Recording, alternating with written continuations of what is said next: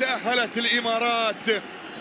وبركلة جزاء الآن في المباراة النهائية قد تكسب اللقب الإمارات.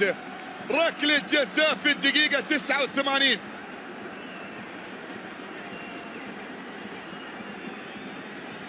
لمصلحة المنتخب الإماراتي علي مبخوت المتخصص.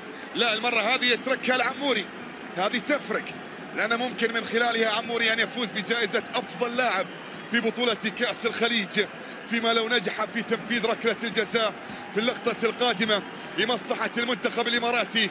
ركلة جزاء عمر عبد الرحمن هو اللي راح ينفذ ركلة الجزاء الآن. فايز الرشيدي في المرمى عموري على التنفيذ. محاولة لمصلحة المنتخب الإماراتي من أجل لقب محاولة من أجل بطولة محاولة من أجل مجد. عمر عبد الرحمن وفايز عمر بطل يا فايز! أسد يا فايز! أسد يا فايز! أسد يا فايز! أسد!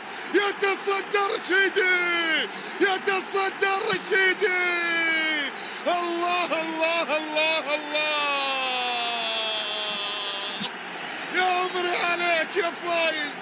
يا عمري عليك يا فايز! يتصدى للمحاولة الماضية ويبقي الأحمر في البطولة يبقي الأحمر في البطولة لأن حرام حرام يخسر الأحمر بالطريقة هذه حرام.